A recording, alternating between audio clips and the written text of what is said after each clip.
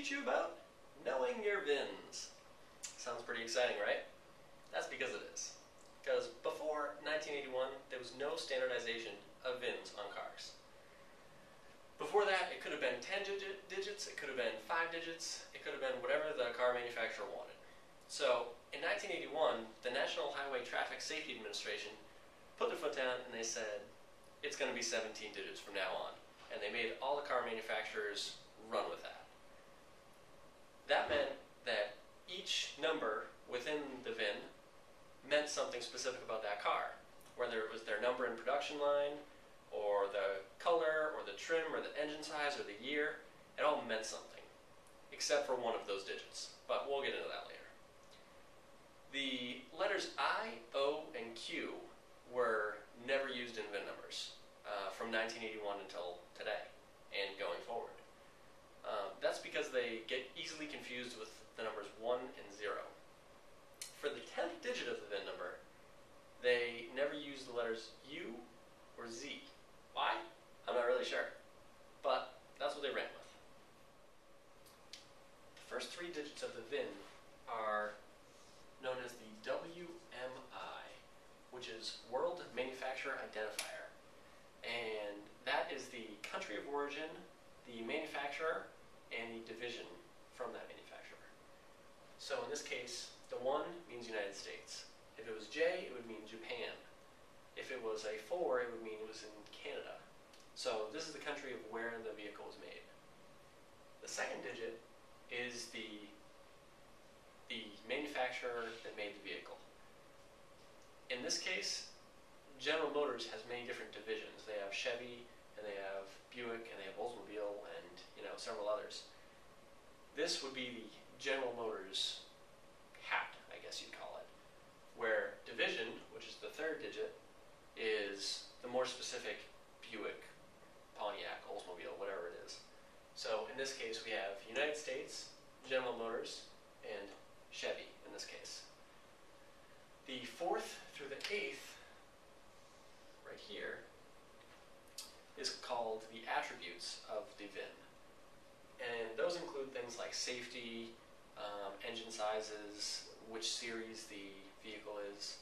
Um, so in this case, the fourth digit is safety, braking, and suspension. So if you have a like a heavy duty truck with like eight lug wheels and something real serious, towing package, that sort of thing, this is the digit that will tell you, hey, this this vehicle has like a, a special suspension and braking package. It also does things for safety. So if you had a special safety restraint system in the car for some reason, that is the digit that would tell you. The fifth digit, in this case an S, is the series.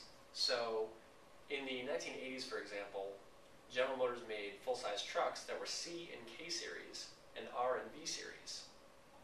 This just basically meant two-wheel drive and four-wheel drive, but it was several different series. So in this case, we have an S series, um, which happens to be an S10 series truck, although they don't usually, you know, connect like that. The sixth digit is, along with the seventh digit, digit is the body style.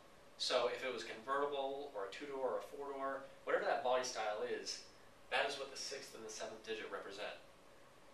The eighth digit, in this case a Z, is one of my favorites. It's the engine size. So if you go to a junkyard, for example, and you want to know what engine is under the hood of this car, rather than opening the hood, you can go to this thing, and if you know you're looking for a Z engine, then you see Z in the eighth digit, and boom, you got what you want. Um, this is really helpful for vehicles that had two different engines during the same year. So like a S10, for example, a Blazer, um, something like that could have a 4.3 liter that was a Z series or a W series. And they had totally different parts attached to them. So when you're buying engine parts for those trucks, you need to make sure you know if you have a Z series or a W series engine. The ninth digit right here is called a check digit. And they call it a check digit because the purpose of it is to check the rest of the VIN to make sure it's legit. You do this by putting it through some complex math um, which you can find on the internet if you go browsing around for it. And you hopefully come out with the right number.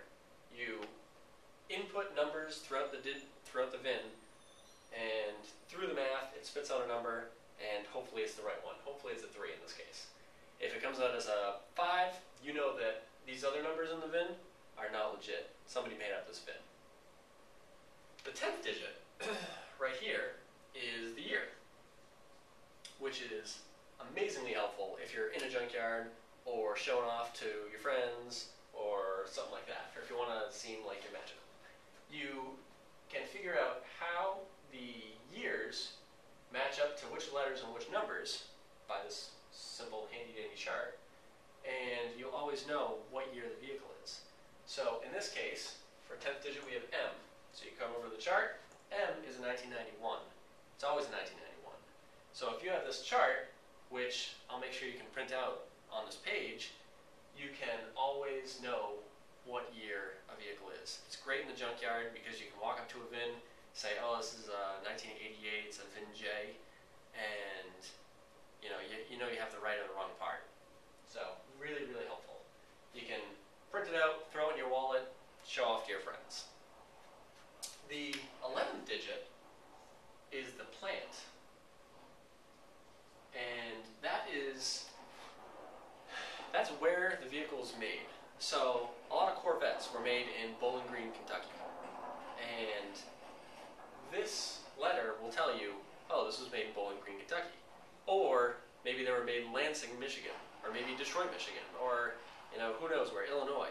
It could be made anywhere, and this is the digit that tells you which plant it was made at.